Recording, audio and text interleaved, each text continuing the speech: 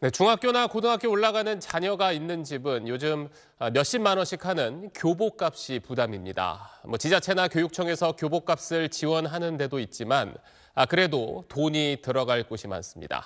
이 내용 임태우 기자가 취재했습니다.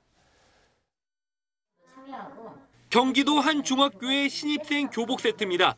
모두 다 해서 42만 원 정도 나왔는데 교복 무상 지원 혜택을 받고도 20만 원 넘는 돈을 따로 내야 합니다. 무상 지원은 학기 중에 서너 번 입을까 한 정식 교복만 해당할 뿐 학생들이 주로 입는 생활복과 체육복은 빠져 있습니다.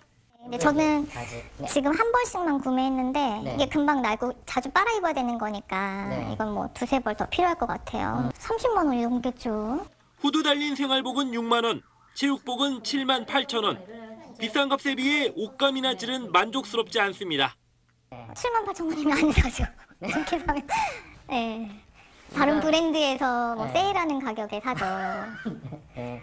후드 후드 도 마찬가지로 이걸 6만 원 주고 안 사죠.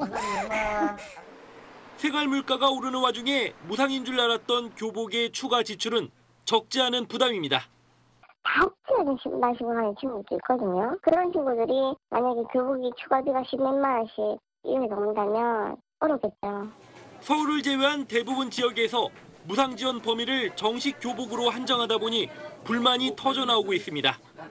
규정을 고쳐서라도 필요한 것을 지원해야 한다는 요구가 많습니다.